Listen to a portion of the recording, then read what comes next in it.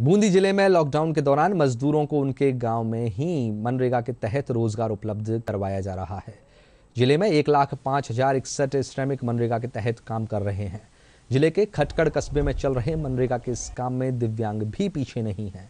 वे भी यहाँ श्रमिक के रूप में काम कर रहे हैं। उन्हें यहाँ मनरेगा में काम कर रहे श्रमिकों को पानी पिलाने का काम दिया गया है।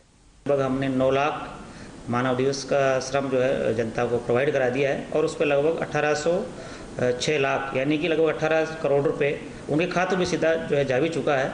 और ये पूरा पैसा है डायरेक्टली किसी ठेकेदार या उसके, उस पर नहीं जा करके सीधा जो लेबर काम करे, उस खाते में पैसा जा रहा है। लॉकडाउन के अंतर्गत यहाँ पे जो नरेगा कार्य चल रहा है, उससे बहुत सारे लोगों को अच्छा रोज़गार मिल रहा है।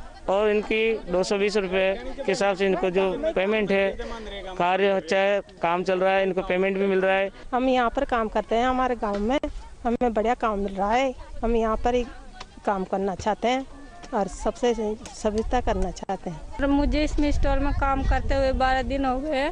हम चाहते हैं सभी को अच्छा रोज़गार मिले और हम काम करते रहे और गाँव का गाँव में पास में रोज़गार मिल रहा सभी लेबर साथ पर काम कर रही हो हमें अच्छा लग रहा है। इसमें सब लोग खुशी से रह रहे हैं और सबके पैसे भी टाइम से आ रहे हैं।